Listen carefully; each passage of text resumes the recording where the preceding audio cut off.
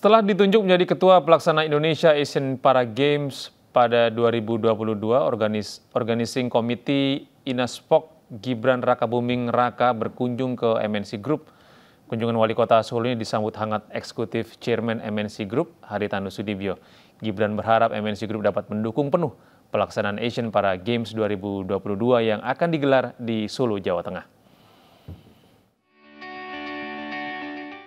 Eksekutif Chairman MNC Group Hari Tanu Sudibyo menyambut hangat kedatangan Wali Kota Solo, Gibran Rakabuming Raka, yang baru saja ditunjuk sebagai Ketua Pelaksana dan Indonesia Asian Para Games Organizing Committee atau INASPOK.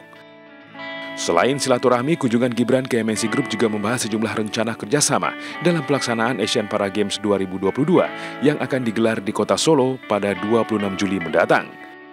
11 negara akan mengikuti ajang ini, di mana mempertandingkan 14 cabang olahraga.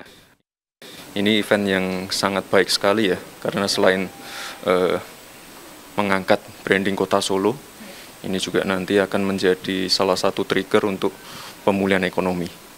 Itu intinya. Dan tadi kita juga berkesempatan untuk office tour bersama Pak Haritanu, ini luar biasa sekali.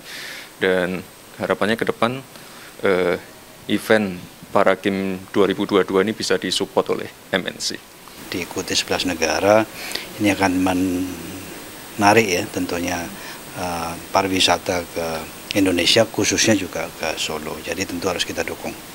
Dan MNC akan berkomitmen untuk mendukung jalannya para games ini semaksimal mungkin nanti.